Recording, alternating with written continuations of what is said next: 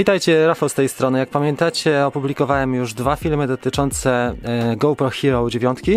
Dzisiaj do mnie dotarła przesyłka. Zamówiłem tą kamerę na stronie GoPro.com. Jeżeli ktoś nie oglądał poprzedniego odcinka, to bardzo proszę zapoznać się, zobaczycie jak to zamawiałem. Zapłaciłem za nią poniżej 1700 złotych. Zamówiłem 17 września, dzisiaj jest 21.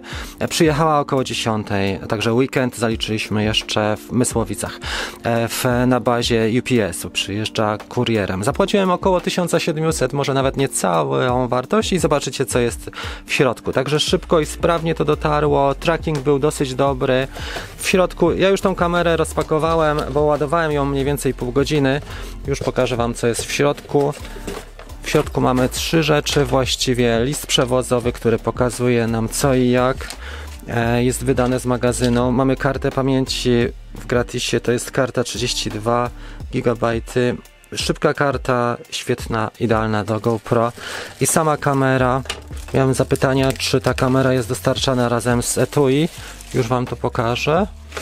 Żeby nie zniszczyć pudełka, jeżeli komuś zależy na tym, żeby odsprzedać tą kamerę, to faktycznie zaczynamy od dołu zwykle i w taki sposób ją otwieramy, a właśnie pociągając za tę, tą dolną tasiemkę.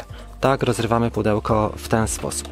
Ok, zobaczmy w takim razie, co mamy. Jeżeli chodzi o samo opakowanie, te cechy podstawowe GoPro, czyli tak, sensor 20 megapikselowy, rozdzielczość 5K w 30 klatkach na sekundę i 4K w 60, e, Full HD w 240, wodoodporna bez e, obudowy do 10 metrów, polecenia głosowe, slow motion, 8, 8-krotne, data overlay, czyli możemy wyświetlić na ekranie nasze dane z telemetrii, Time Warp 3.0 to jest nowość. Live streaming Full HD, bardzo fajna opcja.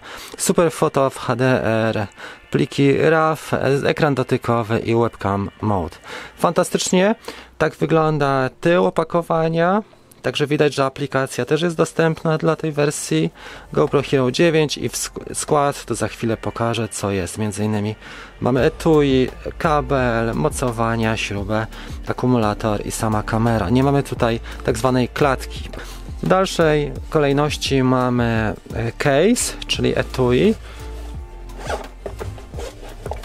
I tu jak zobaczycie co jest, e, mamy tak, kabel USB na USB typu C do ładowania. Następnie jest reklama programu subskrypcyjnego. Widać, że GoPro stawia na ten program mocno to co mówiłem, że mamy chmurę, mamy dwa replacementy, czyli dwie wymiany w ciągu roku, do 50% rabatu na akcesoria, do 100 dolarów rabatu na następne GoPro. Fajnie, fajna sprawa, warto w tym programie uczestniczyć. Teraz podstawowe sprawy to jest aplikacja, tutaj widzimy ładowanie e, do komory baterii, czy akumulatorka i karty pamięci, ładowanie samej baterii poprzez USB typu C, zamykanie drzwiczek, przycisk włącz i przycisk e, migawki. Istotne informacje także w języku polskim, co ciekawe. Dobrze, zobaczmy w takim razie, co mamy wewnątrz. To jest mocowanie samoprzelepne, akurat do powierzchni, które są zakrzywione. Można też oczywiście dokupić mocowanie do powierzchni płaskich, nie ma go w komplecie. Sama klamra mocowania z zabezpieczeniem przed wypięciem. Działa to w ten sposób. Tak jest. I śruba skrzydełkowa w komplecie do mocowania kamery. Popatrzmy na samą kamerę GoPro Hero 9. To co jest charakterystyczne to nasz wyświetlacz, ten przedni.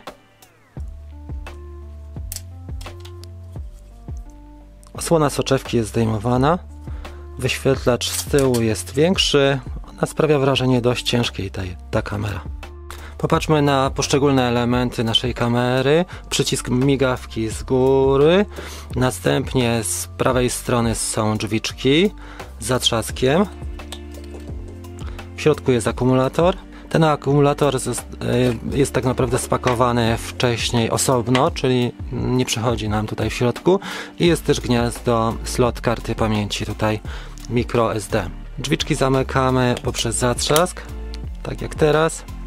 Z lewej strony jest logo GoPro Hero 9 e, i przycisk e, trybu W tym miejscu mamy mikrofon odprowadzający wodę, także e, to nie jest żadne cięgło ani e, żadna klapka, żadne mocowanie, to jest tylko i wyłącznie mikrofon, co ciekawe. Tu na dole mamy składane zaczepy i pod nimi jest mikrofon. Mikrofon występuje też e, z przodu. No i co ciekawe, wymienna obudowa obiektywu, bo to nie jest właściwie obiektyw, tylko to jest wymienna obudowa obiektywu e, w wersji dziewiątej. Ładowanie akumulatora trwa około 3 godzin, także czas zacząć, żeby jeszcze można było dzisiaj trochę ją potestować poprzez USB, gniazdo USB typu C. Jak widać mamy wskaźnik e, z przodu ładowania. Z tyłu ten wskaźnik jest na górze po lewej stronie. To wszystko w tej chwili. Ja podładuję i postaram się zrobić jeszcze dzisiaj kilka testów, jeżeli chodzi o Hyperlapse, parę zdjęć. Zapraszam Was bardzo serdecznie do kolejnych odcinków, ale także do społeczności wspierającej, gdzie postaram się pokazać przykłady, próbki materiałów czy przykładowe zdjęcia w RAW czy ujęcia właśnie w kolorze płaskim. Zobaczymy jak to wygląda, ale bardzo Was e, serdecznie zapraszam właśnie do e, tej społeczności wspierającej.